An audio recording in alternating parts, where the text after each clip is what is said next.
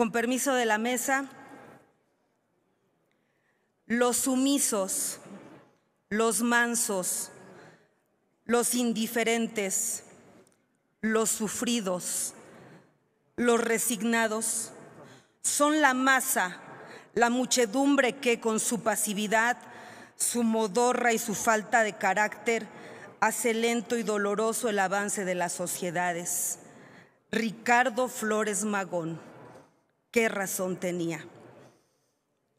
Con permiso de la mesa, honorable asamblea, mexicanas y mexicanos, he pedido permiso para posicionar este dictamen, no el nombre de la comisión que la co-dictaminó, sino en nombre del grupo parlamentario de Morena, porque soy una mujer emanada de las clases populares por las que Ricardo Flores Magón pugnó toda su vida, porque me inspiró, ha inspirado e inspirará generaciones de mexicanas y mexicanos en todos los movimientos de transformación legítimos por las mejores causas de este país. La conciencia determina la responsabilidad de cada uno en el concierto universal y muy raras veces, pero muy raras veces, nacen hombres y mujeres con esta lucidez, la trascendencia más allá de su vida terrenal. Así fue como pasó.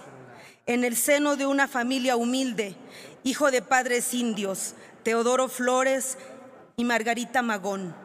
Y los tengo que nombrar porque el ejemplo y el sacrificio de estos padres dieron a esta patria los mejores de sus hijos.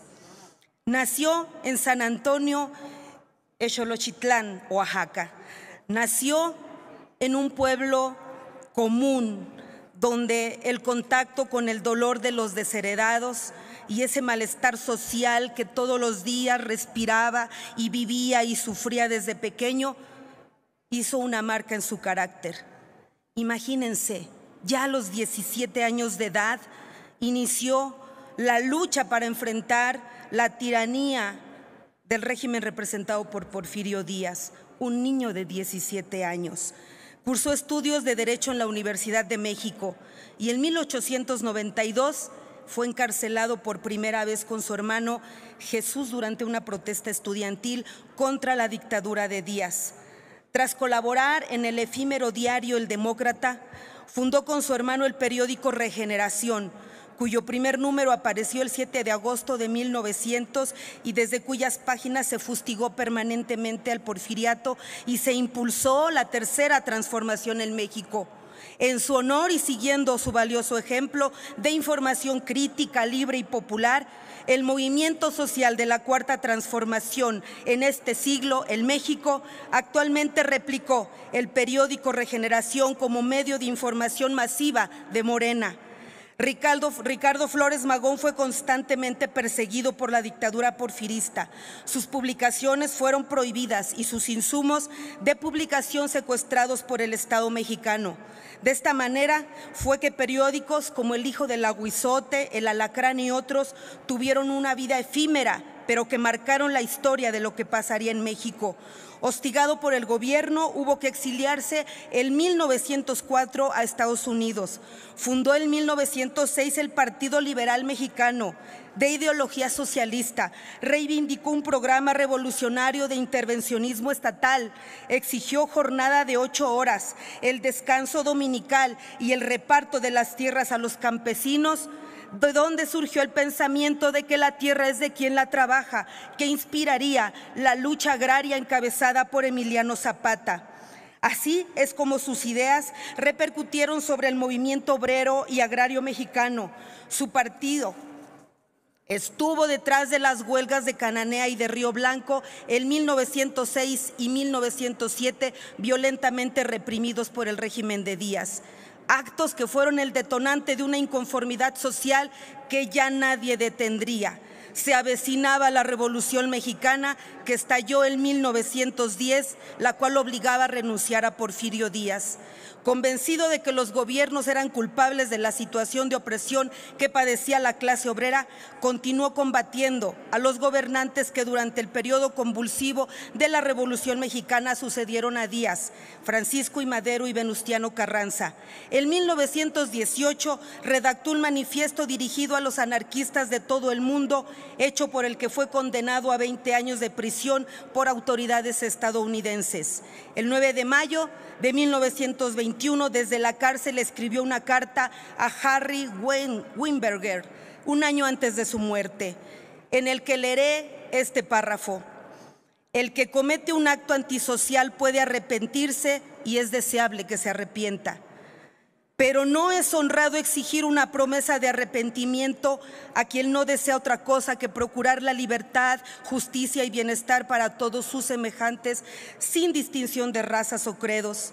Si alguien me convenciese de que es justo que los niños mueran de hambre y de que las jóvenes mujeres tengan que escoger entre prostituirse o morir de hambre, si hay alguna persona que pudiese arrancar de mi cerebro la idea de que no es honrado matar a otros mismos, ese instinto elemental de empatía que empuja a cada animal sociable a auxiliar a los demás individuos de su propia especie, y de que es monstruoso que el hombre, el más inteligente de las bestias, tenga que recurrir a las viles armas del fraude y del engaño si quiere alcanzar éxito, si la idea de que el hombre debe ser el lobo del hombre entre en mi cerebro, entonces me arrepentiré. Pero como esto no sucederá, tengo que morir en presidio marcado como un criminal. Tras sufrir un régimen carcelario cruel y despiadado, murió casi ciego en condiciones que hasta hoy no han sido claras el 20 de noviembre de 1922. Ricardo Flores Magón fue un político y periodista, hombre puro e idealista al que se le considera precursor de la Revolución Mexicana. Su figura ha quedado grabada como uno de los grandes luchadores íntegros y consecuentes de las causas de los trabajadores y campesinos, infatigable e insobornable. Su pensamiento y su lucha inspirarán. Declarar el 2022 como el año de Ricardo Flores Magón en la conmemoración de un siglo de su muerte es un llamado a la reflexión sobre nuestra responsabilidad en la construcción de justicia y libertad que sigue siendo una deuda para las mayorías en nuestro país. El movimiento Regeneración Nacional se ha inspirado en los principios ideológicos más nobles de la vida y obra de Ricardo Flores Magón. Mientras haya mexicanas y mexicanos sensibles al dolor y la pobreza, que se organicen y participen por un cambio verdadero, Ricardo Flores Magón no estará muerto. El insulto, el presidio y la amenaza de muerte no pueden impedir que un utopista sueñe, dijo Ricardo Flores Magón. Gracias, Ricardo Flores Magón, por enseñarnos a soñar utopías. Viva por siempre, Ricardo Flores Magón. Es cuanto. Gracias. Ahora tiene el uso de la palabra para hablar a favor la senadora Claudia Edita Anaya Mota, por favor, del PRI. Por favor, senadora.